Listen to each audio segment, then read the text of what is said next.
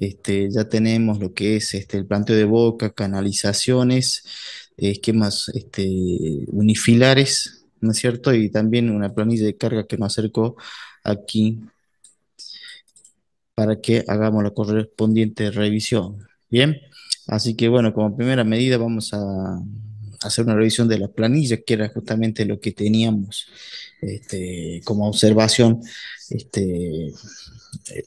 la revisión pasada. Recuerden que esta planilla ustedes la pueden adquirir, esta y otras ahí este, también, la pueden adquirir a través de este, nuestra consultora, ¿no? Es una forma más sencilla y práctica de realizar el cálculo eléctrico, ¿sí? Veamos. Tenemos tablero seccional 1, tablero seccional 2, tablero seccional general. Fíjense ustedes que acá lo que hace el colega es lo siguiente. Bien. El tablero seccional general deriva 6 circuitos terminales, 7, 8 circuitos terminales y 2 circuitos seccionales. Uno es el circuito seccional 1, que está en planta alta, que deriva 4 circuitos seccionales, y el circuito seccional 2 está en planta baja y deriva dos circuitos, uno de alimentación de pequeños motores y luego dice de alimentación de carga única. Ya vamos a ver de qué se trata. ¿sí?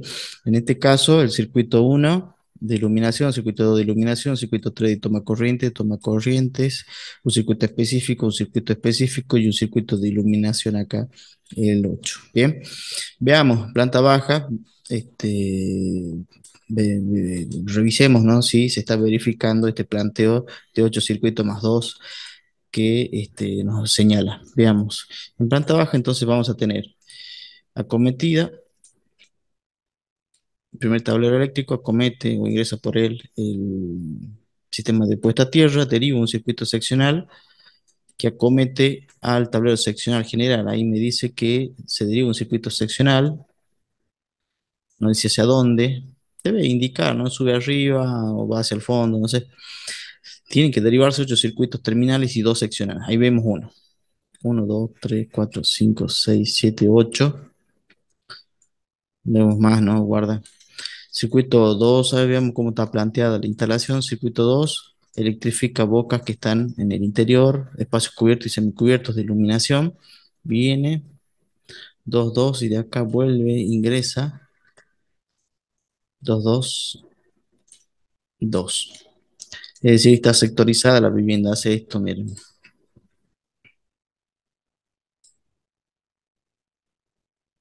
Todo esto es circuito 2 de iluminación. Me parece que circuito 1 es lo restante, ¿no? Veamos. Circuito 1, bien. Sí, este espacio guarda, ¿no? Circuito 1, circuito 1 le bajo el precio en cuanto al tamaño ahí, circuito 1, circuito 1, o sea, acá hace una vinculación de boca que está al interior con boca que está en el interior. Circuito 1, circuito 1. Eran dos circuitos de iluminación. Hay un tercero que es el circuito 8, este. Cinco bocas, dice. Veamos.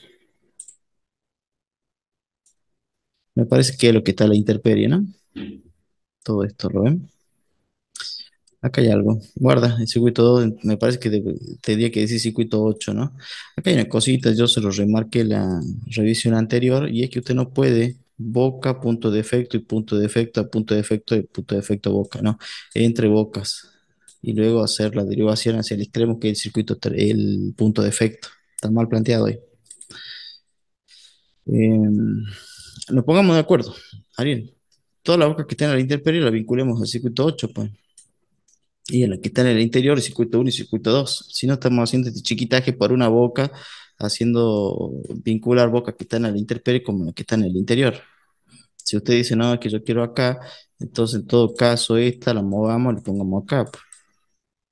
Pues. cierto? Y de ahí mandamos el punto de efecto que deberá estar en el interior, como poner el punto de efecto al interperie. Guardo. ¿Sí? Eh, esto circuito seccional 2, son cuatro circuitos terminales, 3, 4, 5, no sé por qué derivan 5. Llegan dos conductores de 4 milímetros, pero derivan 5. Vamos al prende de carga. Supuestamente son 4. 5, dice, una para el aire acondicionado de acá, otra para el aire acondicionado, veamos la planilla. Circuito 3 y circuito 4. Aire acondicionado. Circuito 3 y circuito 4. Circuito 1, 1 y 2 de iluminación. El 1 de iluminación, acá vuelve a ser lo mismo. De la boca, del tablero a la boca, de la boca al efecto, del efecto a la boca está mal. en todo caso sería de acá a la boca y de ahí hacemos las derivaciones a cada uno de los efectos, ¿no? ¿Sí? Está mal planteado. Eh, circuito 1 iluminación, circuito 2 toma corriente y el circuito 6, acá dice, guarda, ¿qué es esto? Circuito 6, circuito 2, está, mal, esto debería estar indicado así, mira. Circuito 2, módulo doble, este toma. ¿Bien? Mm, ¿Y por qué tiene 5 salidas? Circuito 2, circuito 6. Circuito 2. A ver, ya entendí. ¿Qué es lo que sucede? Que él tiene el tablero, deriva el circuito 2 que toma corrientes, ¿no es cierto? Pero lo deriva dos veces. Va hacia un sentido y tiene otro sentido el circuito 2. ¿Eso está bien o está mal? Está mal, porque estás dando a entender que acá estás utilizando, estás vinculando dos veces, colocando dos conductores por borne en la protección. Eso no se permite. Guarda. ¿Sí? Hay que buscarle la vuelta. Por eso que digo tantas salidas y acá declara que son cuatro. Veamos el, el cálculo. ¿Qué es el cálculo? El cálculo señala lo siguiente. El cálculo me señala de que tenemos, este, a ver, en planta alta una carga, planta alta, potencia instalada de 900 voltiamperes, no, perdón, de 3000, multiplicado por un coeficiente de simultaneidad le da 2600. Acá debería figurar el coeficiente de simultaneidad, ¿no? Acá se pone que justamente la relación entre esto y esto. O sea, las sumas de esto y la suma de esto, el cociente te da el coeficiente de simultaneidad en el tablero. Te da, tenés 2, 2,6 kilos, 3 kilos, por eso te vas con dos monofásicos, con un circuito monofásico de 2 por 6, debería ser como mínimo. Pone de 4. La carga no la define, acá debería estar la suma, pues. Ariel, acá debes poner la suma de... No, no, ah, ahí está, acá está, pero no dije nada. 13, por eso colocas 4. Eh, perfecto. Yo sugiero 6 milímetros y 2 por 6, digamos, para arriba. No está mal 2 por 4, ¿no? Recuerden que la sección mínima de un circuito seccional es de 2,5. Em, a ver. Tablero bomba, tenemos una potencia instalada de 500, 2 por 6, 500 y acá, en el tablero seccional general, la suma me está dando de 15 kilowatts, ¿no? La potencia instalada. Esto hay que multiplicarlo por un coeficiente de simultaneidad y me va a dar la carga, ¿no? Que es 0,7 por lo que estoy viendo. 13 por 0,7, ¿no es cierto? Me dará la, la demanda máxima de potencia simultánea. Estamos hablando de casi 10 kilowatts. ¿sí? Es decir, el suministro es trifásico. Acá está. El 07 te da 11. A adoptar un sistema trifásico. Perfecto. Podría ser hasta tarifa 1, ¿no? El planteo. Veamos los esquemas unifilares. ¿Cuánto tenemos de carga en el tablero? Con toda la furia 20 amperes. O sea que la carga de esto es de 20 amperes, por eso es que coloca una tetrapolar de 25 amperes. No entendí esa, mira. Como primera medida la empresa te va a dar 6 milímetros. Va, te pide que coloques 6 milímetros en la línea principal. Recuerden que la línea principal nosotros no, eh, en principio no, la, no intervenimos, pero fija como sección mínima y diámetro mínimo de canalización la empresa es raro que te estén planteando 4, por lo general es un 4 por 6, ¿no? Entonces luego uno continúa con el 4 por 6 y no hace esto lo que usted hace, ¿sí? Este, guarda esa información. De todas maneras, me la justifica enviando el plano típico de la empresa.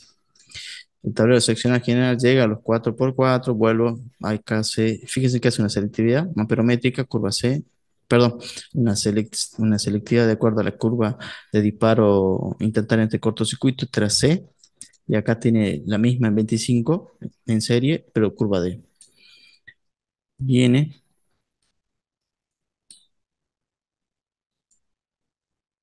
este trapolar. Veamos el equilibrio. Ta, ta, ta. Claro, lo que hace es que el tablero seccional 1 lo pone acá, el tablero seccional 2, 13 más 3, claro, le da el desequilibrio no es mayor al 30%. Sí, ahí, entre este y este está ahí nomás, ¿no? Este,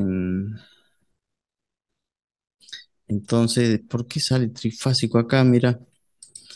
A ver, los circuitos monofásicos, ¿no? Tenés el TC1 y el C7 en L1. L1, me aparecen tres circuitos, esto es raro. A ver, en la planilla de carga declara que tiene L1, tiene cargado dos circuitos, acá hay un tercero. Pregunta. ¿No? Debería tachar. O a menos que te hayas confundido acá en la pero acá me dice que hay dos circuitos cargados. Y acá me dice que en L2 hay 1, 2, 3, 4, 5, 6. 6 circuitos cargados. Vamos. Y hay 4. Está faltando plata, señores. L2, dice L3, L2, L3, ya que monofásico, o sea, no, imposible, está mal planteado esto. Está mal planteado. Está mal planteado. Y te queda en L3, 2.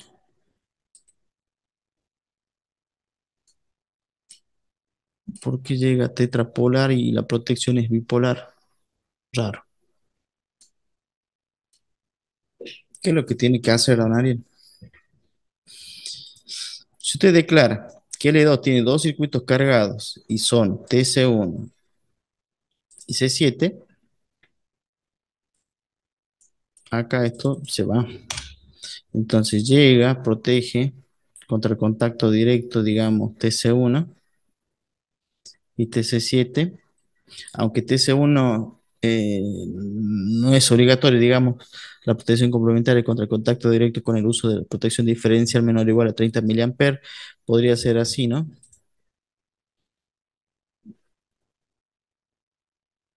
Ah, no, acá está, está todo un despiole, che. ¿Cómo es TC1? Declara que es L3. Y acá, TC1 está cargado en L2, en L1. ¿Lo ve? Raro. ¿Qué quiero decir? Que se tiene que poner de acuerdo esto con esto. No cierra, no cierra el blanco. No está cerrando el blanco en ese sentido. Luego, volvemos a lo mismo. Si usted me dice que acá le llega dos conductores de 4 milímetros cuadrados al TC1, planta alta, ¿por qué acomete 4x4, digamos, y, la protección, o sea, no se, no se está correspondiendo la planta con los esquemas unifilares. Va a tener que radicar, replantear, eh, corregir esa situación. Guarda, guarda, ¿sí? Fíjense en algo. Acá hay un cálculo de la corriente de cortocircuito. Me dice que tengo unos bornes de entrada en medidor 3,5 kilo, este, kiloamperes. Es por eso que como mínimo está colocando 4,5 kilo, de poder de corte, ¿no? Perfecto. Pero guarda, se tienen que corresponder lo que plantea en planta y planilla con el esquema unifilar. Falta eso, pónganse de acuerdo, vamos acomodando y vamos haciendo esas correcciones. Esto separemos, pongamos directamente en el circuito 8, no hagamos esto, no se permite. Usted mira, chico, como cruzo. Bueno, pongamos la caja de inspección, hagamos tendido subterráneo, otra caja de, eh, de paso y vengamos eh, hasta acá, no sé, opinen. Pero hay distintas formas de hacerlo. Bien. Vamos, don Ariel. Nos vemos en la próxima. Que anden bien.